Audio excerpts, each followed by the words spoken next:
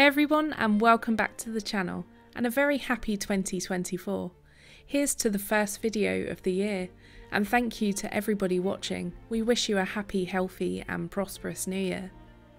In this week's video, set on a rolling lawn that's dotted with ancient trees, the atmospheric Netley Abbey exudes romance, grandeur, mystery, and a certain kind of eeriness all at once.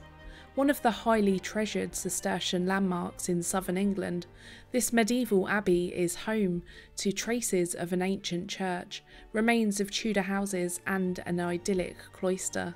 So join us as we discover Netley Abbey. Netley Abbey is one of Hampshire's most well known abbeys.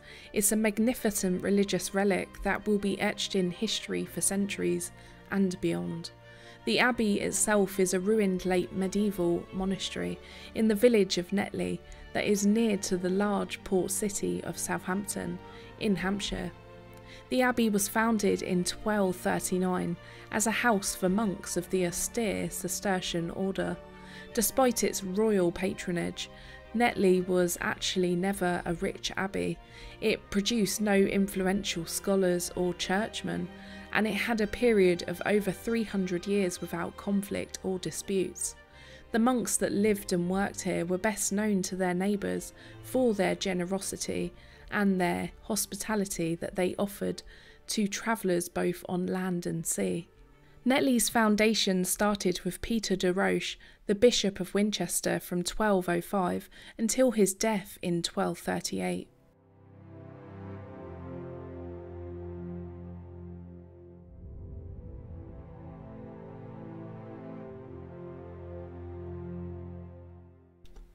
The very large open space south of the church is the cloister that is surrounded by ranges of buildings on three sides. The cloister is where the monks spent most of their time when they weren't bound to the church. They were able to use the cloister and its buildings to study, copy books, and create illuminated manuscripts. The Eastern Range, which started at the same time as the church and more than likely took around 10 years to build, contained many of the Abbey's most important rooms. This included the vaulted library and sacristy that were on the ground floor adjacent to the church. To the south was the chapter house, where all of the deliberations of the abbey took place. Monks were made to meet here to transact business and to listen to a daily reading of the Rule of St Benedict. At Netley, this was a magnificent apartment that was divided in up into three aisles, with vaults springing from four columns, where a stone bench ran across the walls for the monks to sit on, and the abbot's throne was in the centre of the eastern wall. The entrance inside the chapter house from the cloister is through an elaborately moulded arched doorway, with windows on either side. The chapter house was also the site of some of the tombs, traditionally those of the abbots of the monastery. When the room was excavated, archaeologists discovered scattered human remains and evidence of graves beneath the medieval floor level, indicating that of a number of burials. The abbey itself was one of a pair of monasteries in which the bishop intended as a memorial to himself. The other abbey was in France. Des Roches began to purchase the lands for Netley's initial endowment, but he died before the project could be finished, and the foundation was completed by his executors. The first monks that arrived to settle the site on the 25th of July in 1239 came from the neighbouring Beaulieu Abbey.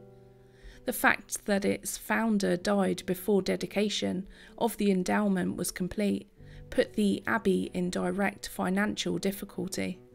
It is thought that only after the house was taken under the wing of Henry III, who became interested in it around the mid 1240s, had any other progress been made to the buildings. The king, Henry III, eventually assumed the role of patron in 1251, bringing great wealth and status to the abbey. The dissolution of the monasteries under Henry VIII brought monastic life at Netley to an end. Following its seizure in 1536, the buildings were granted to Sir William Paulet, a local Tudor politician who later converted them into a mansion. The abbey was used as a country house up until the early 18th century, after which it was abandoned. At this time, much of the brickwork was added by William. It was removed to be used for building materials. The site then fell into neglect, becoming overgrown with trees and ivy. In time, the site came to be celebrated as a romantic ruin, eventually becoming a tourist attraction and providing great inspiration to writers and artists of the Romantic movement, including John Constable and Thomas Gray. The latter wrote that they are not the ruins of Netley, but of paradise. It is also believed that Jane Austen drew inspiration from the Abbey for her Gothic parody Northanger Abbey. The West Range at Netley is small and does not run the full length of the west side of the cloister. It is divided into two by the original main entrance to the Abbey, with an outer parlour where the monks could meet their visitors. North of this, on the ground floor, were cellars for food storage, and to the south was the Lay Brothers Refectory.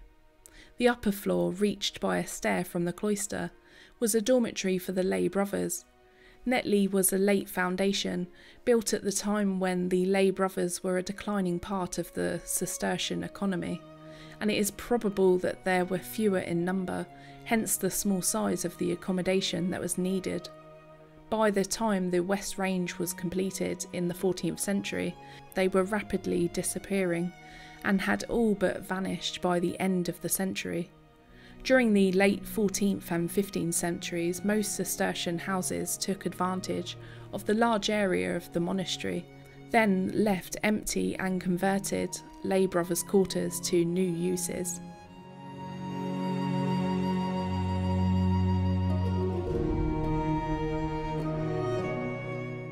The wealth and prosperity from the royal patronage at the Abbey was shown and demonstrated in the construction of this large and beautiful church.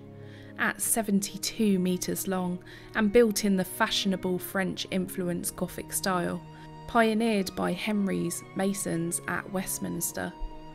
The high quality in work and the elaborate nature of the church's decoration, particularly in its mouldings and tracery, just indicate further how much they wanted to show off and how much was spent just on the church itself. Taking many decades to actually complete, the church was probably finished between 1290 and 1320. The interior of the church was richly decorated. All we see now is chalky stone walls, but picture this the walls were once plastered and painted in white and maroon, with geometric patterns and lines, designed to give an impression of ashlar masonry. The detailing would be picked out in the maroon colour, and the floors would have been covered in polychrome tiles featuring foliage, heraldic beasts, and coats of arms, including those of England, France, the Holy Roman Empire, Richard of Cornwall, and many other powerful noble families of the time. The windows of the church were also filled with painted glass, showing scenes from the life of the Virgin Mary, the crucifixion, monks, monsters, and humorous animals. It just would have been spectacular.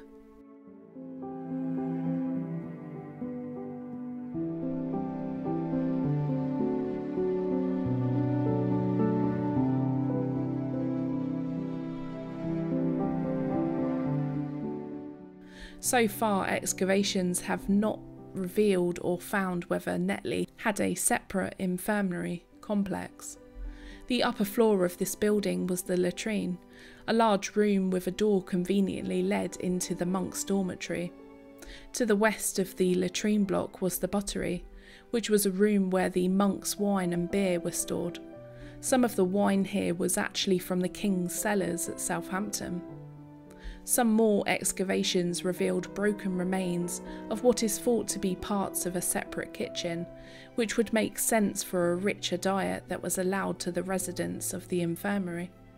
for they were to enjoy hot meat dishes filled with nutrition rather than the strict Cistercian vegetarian diet that the monks were made to eat.